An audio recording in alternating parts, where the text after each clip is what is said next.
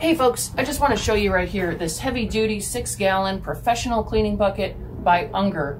This is a great tool to have. If you are a window cleaner, I think that's probably how most people would use it. It's huge, it's rectangular shape, so this can easily fit your big squeegee tool that you would use for window cleaning. I use it for carrying cleaning supplies, and believe me, this can fit a lot of cleaning supplies. I would take this thing to work, just stuff it full of my rags, my cleaning solutions, sponges, hair removers, like whatever I could fit in here. And then when you're walking into your cleaning job, you know, you look real professional when you've got this nice bucket and it just fits so many things. There's just a variety of purposes you can use this for around the home.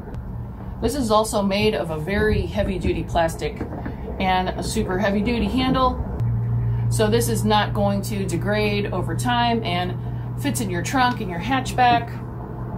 I think another great use for this would be to carry tools in. So if you're any kind of professional cleaner, handyman, you can find probably a million uses for this bucket.